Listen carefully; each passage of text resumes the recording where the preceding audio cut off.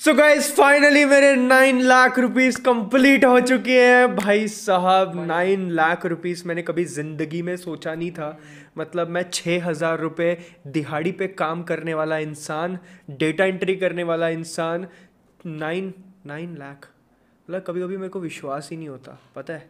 सच बता रहा हूँ sometimes I don't even believe that I we actually not I we make videos and uh, we are youtubers now and we have 50000 followers we have uh, a good income from uh, online also we are learning new skills every day we are learning new things every day and it's it's kind of a dream you know cheez hai uh, one thing i'll i'll just say that just think about your dream okay write down what exactly you want आपको क्या चाहिए life में लिख लो उसको copy pen पे ठीक है and उसको ना मतलब उसके पीछे लग जाओ बस हाथ धो के भाई यू हैव मनी और no money doesn't matter we didn't had money I swear we didn't have a single penny to buy the tripod also can you imagine this also we have bought after six months not six after one year you can say मतलब we were using that small microphone. And the घटिया वाला phone camera वीमरा we for not still also we don't have a camera we have making video from YouTube phone phone phone phone is same but यार seriously यार seriously I just wanted to motivate you guys that start and learn start learning this is the best thing text me on this and start your journey आज का video Hasi TV की तरफ़ से new video है. Russian magician said she can't touch Muslims ऐसे क्यों?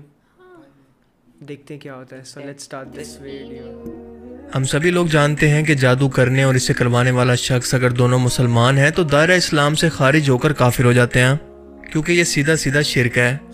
और शिरक इसलिए कि जादू के अंदर अल्लाह को छोड़कर शैतानी जिन्नात से मदद मांगी जाती है और बज़ाहिर इंसान को वही कुछ नज़र आता है जो कि जादूगर इनसे जिन्नात की मदद से किसी शख्स के दिमाग पर कब्जा करके इसे दिखाना चाहते हैं, लेकिन असल में ये सिर्फ़ नज़र का धोखा होता है। मिसाल के तौर पर इसकी मिसाल हमें कुरान पाक से मिलती है, जब फिरौन मिस्र के दरबार के अंदर जादूगरों ने अपनी रस्सियाँ डाली तो वो वहाँ मौजूद दरबार के अंदर सब लोगों को जादू की मदद से सांप नज़र आने लगी, मगर असल में वो रस्सियाँ ही थी। इसके बाद जब मूसा अलैहिस्सलाम ने अपना आसम मुबारक दरबारियों के सामने डाला तो वो हकीकत के अंदर एक बड़ा अफ्ताहा बनकर इन सांपों को निकल गया, जो कि असल में मुआवजा था, ना कि कोई जादू। क्योंकि जादू तो सिर्फ़ नज़र का धोखा होता है, जबकि ये अफ्ताहा हकीकत के अंदर वही अफ्ताहा के अंदर बदला था, ना कि किसी नज़र के धोखे से। और यही वजह थी कि वहाँ मौजूद जादूगर, जो कि अपने हुनर के अंदर माहिर थे, ये समझ गए कि ये दरअसल जादू नहीं, बल्कि मुआवजा है, और इसीलिए ईमान ले आए। क्योंकि ज़ाहिर है वो अपने हुनर में माहिर थे, इसीलिए इस बात को समझ गए। ये बात आपने वीडियो के आखिर तक माइंड में रखनी है। रशियन टीवी चैनल पर कुछ दिन पहले एक डेढ़ घंटे का इंटरव्यू एक ऐसी औरत से लिया गया जो कि मुसलसल कई सालों से काले जादू की प्रैक्टिस करती है। वो अपने इस काम में माहिर है। जब इंटरव्यूअर ने इसे सवाल किया कि क्या आपके साथ भी कभी ऐसा हुआ है कि किसी शख्स पर चाह कर भी आप जादू ना कर सकी हो, या फिर इसमें आपको इंतहाई मुश्किल हुई हो? तो इसका जवाब क्या था ये जानकर आप भी हैरान रह जाएँगे और आपको मुसलमान होने पर फख्र होगा। कि बेशक अल्लाह का अपने पैगंबर पर उतारा गया एक एक पैगाम बिल्कुल हक और सच है, जिसमें शक की कोई गुंजाइश नहीं। क्योंकि इसका कहना था कि जी हाँ दुनिया के अंदर सिर्फ़ प्रैक्टिसिंग मुसलमान ही हैं, जिन पर चाह कर भी मैं जादू नहीं कर पाती।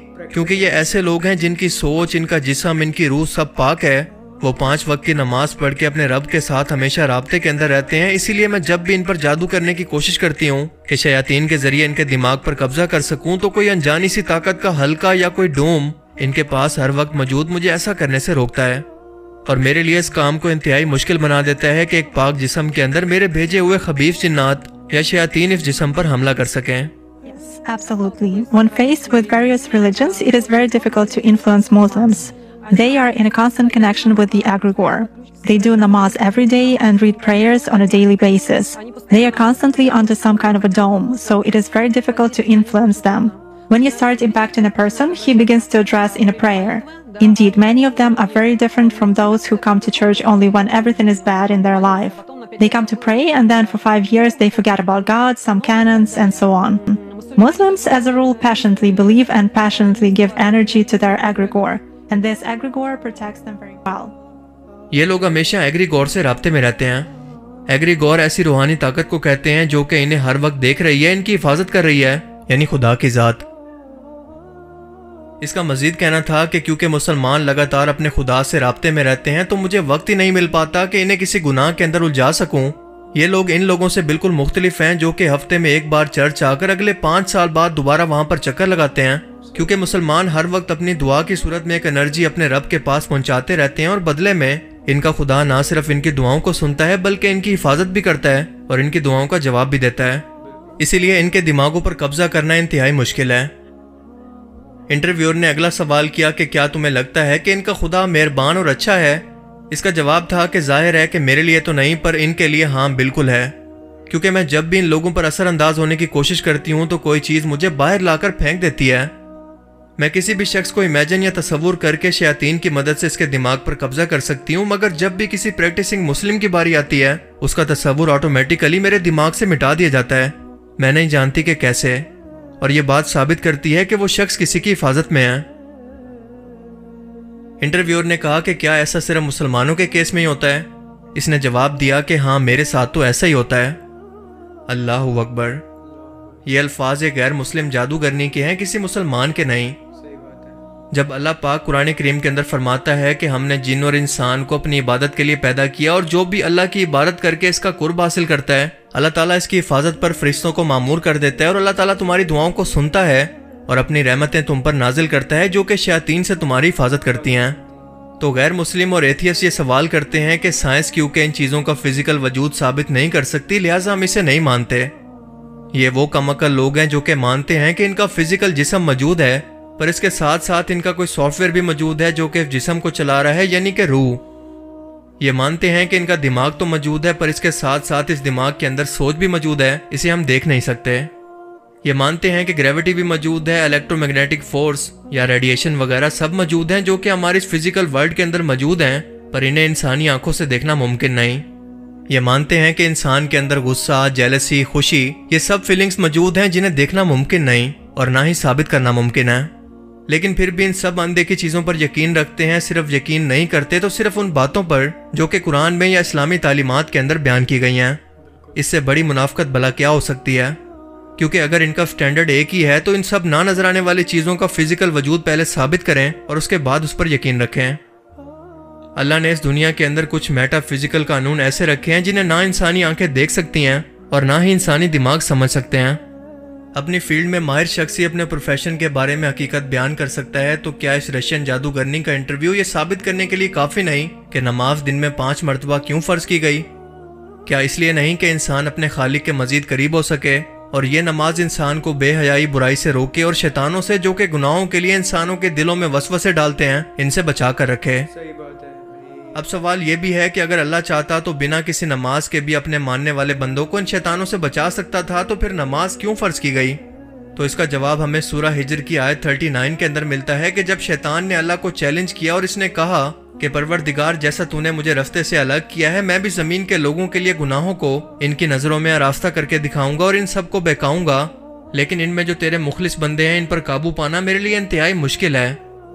क्या ये कुरान के वही अल्फाज नहीं जो कि ये जादूगरनी अपने इंटरव्यू में दोहरा रही है? इसके बाद अल्लाह पाक मजीद फरमाता है कि मुझ तक पहुँचने का यही सीधा रास्ता है। जो मेरे मुखलिस नेक बंदे हैं, इन पर तुझे कोई इख्तियार नहीं कि तू इनको गुनाहों में डाल सके। हाँ मगर गुमराहों में से लोग तेरे पीछे चल पड़ेंगे और इन सब के वादे की जगह जहनुम है। यानी शैतान का यह वादा था कि वो इंसानों को क्यामत तक अपनी शैतानी फौज से बहकाएगा और इसके बहकावे में वही शख्स आएगा जो कि नापाकी बेहयाई और गुनाहों में डूबा रहेगा। फिर चाहे वो मुसलमान ही क्यों ना हो। क्योंकि इस जादूगरनी ने भी बिल्कुल यही अल्फाज इस्तेमाल किए कि प्रैक्टिसिंग मुस्लिम, यानी नाम के नहीं बल्कि दीन पर अमल करने वाले मुसलमान इससे बचे रहते हैं। कुरान करीम में एक बार नहीं बल्कि इसी से मिलते जुलते अल्फाज सूरा अल राफ की आयत चौदह के अंदर कुछ इस तरह से बयान होते हैं कि इसने, यानी शैतान ने, अल्लाह से कहा कि मुझे उस दिन तक की मोहलत अता फरमा जिस दिन लोग कब्रों से उठाए जाएँगे, यानी क्यामत तक। अल्लाह ने फरमाया कि अच्छा जा तुझको मोहलत दी। फिर शैतान ने कहा कि तूने तो मुझे मालूम किया है, मैं तेरे सीधे रास्ते पर इन लोगों को भी गुमराह करने के लिए बैठूँगा। फिर इनके आगे से, पीछे से, दाई तरफ़ से और बाई तरफ़ से, यानी चारों तरफ़ से इन पर हमला करता रहूँगा और तू इनमें से ज़्यादातर को शुक्रगुजार नहीं पाएगा। यानी ज़्यादातर लोग गुमराह हो जाएँगे। इससे ज़्यादा आसान अल्फाज के अंदर और खोल खोल कर अल्लाह की जात इंसानों को वार्निंग देकर और भला कैसे समझाए? और अगर अब भी हम लोग ना समझें तो गलती किसकी है? अल्लाह की या हमारी? एक बार सोचिएगा ज़रूर। बाकी आप इस बारे में क्या सोचते हैं, अपनी कीमती राय का इजहार कमेंट सेक्शन में ज़रूर करें। और अब मैं मिलूँगा आपसे एक ऐसी ही नई इंटरेस्टिंग वीडियो में। तब तक के लिए अपना बहुत सा ख्याल रखिएगा। Thanks for watching this video अल्लाह हाफिज़। Is this some kind of a good egregore? Well, for them, yes. This egregore is good for adepts who contribute good energy to it. How do you sense it? For instance, you have found an energy trace of such person. What's next? Do you try to drag him somehow to visualize this threat and you fail? Or how do you do that? It disappears. I cannot get a grip on it. I focus on it, but something immediately knocks me out of the flow, just like that. Or I visualize a person in front of me clearly and can affect him even at a mental level, but some image is not created in my mind at all. I even look at a photo, reproduce an image, but it vanishes from my mind. Thus, I can clearly see that a person is covered with something. Does this only work with Muslims? It does for me. This was a reaction on Hansi TV and बहुत बेहतरीन video था ये। And ये बहुत ज़्यादा motivational video था। एक सबक था लोगों के लिए जो लोग सही तरीके से नमाज़ नहीं पढ़ते हैं इबादत नहीं करते हैं। एंड नमाज़ का जो हुक्म दिया हुआ है वो किसी वजह से ही दिया हुआ है ना? एंड उन्होंने देखो क्या बोला वो आंटी ने जो मैजिशियन वाली आंटी थी। वो बोल रही थी कि मेरा जो जादू है वो सिर्फ़ मुसलमानों पे नहीं चलता है। और वो भी वो प्रैक्टिसिंग मुस्लिम्स वो वाले नहीं। नाम वाले नहीं हाँ। प्रैक्टिसिंग ठीक है जी? हाँ तो बहुत सही बोला यार उन्होंने बिल्कुल। बंदा जब नमाज़ पढ़ता है ना जो भी वो गलत काम करता है ना उसके ऊपर इतना भारी पड़ जाता है ना वो और सुधरता रहता है वो एवरी सिंगल डे सुधरता है भाई वो इंसान एवरी डे सुधरता है बिकॉज़ उसको पता है कि क्या गलत है क्या सही है क्या क्या गलत है क्या सही है। एंड बहुत बेहतरीन और मोटिवेशनल वीडियो था। आई होप सबको अच्छा लगा होगा। अच्छा लगा तो ज़रूर बताएगा कमेंट सेक्शन में। तो मिलते हैं अगले वीडियो में। Bye take care see